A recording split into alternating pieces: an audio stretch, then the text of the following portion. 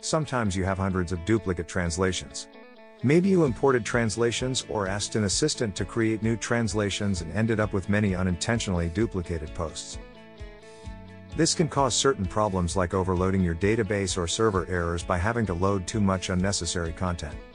That's why in this tutorial we want to show you how to remove all the duplicate translations at once using WP Sheet Editor. With this plugin, you can view and edit posts, pages, or any custom post types using an intuitive spreadsheet inside WordPress. Something great is that the spreadsheet displays your posts according to their language. For example, on this website we have three WPML languages. If we select English, we'll see all the English posts in the spreadsheet. If we select Spanish, we'll see all the Spanish post translations. If we select Italian, we'll see all the Italian post translations displayed in the spreadsheet.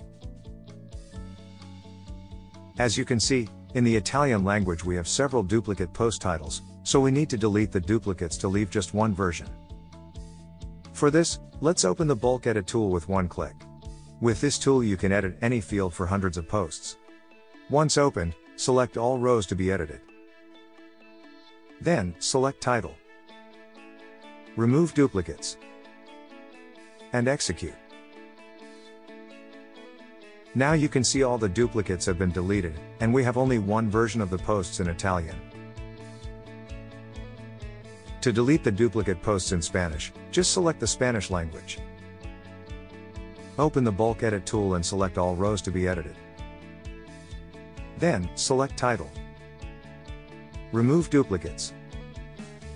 And execute. Now you can see all the duplicate Spanish translations have been deleted. Deleting duplicate WPML translations in a specific language is really simple with WP Sheet Editor. You can download the plugin using the link in the description and get free live chat support on our website.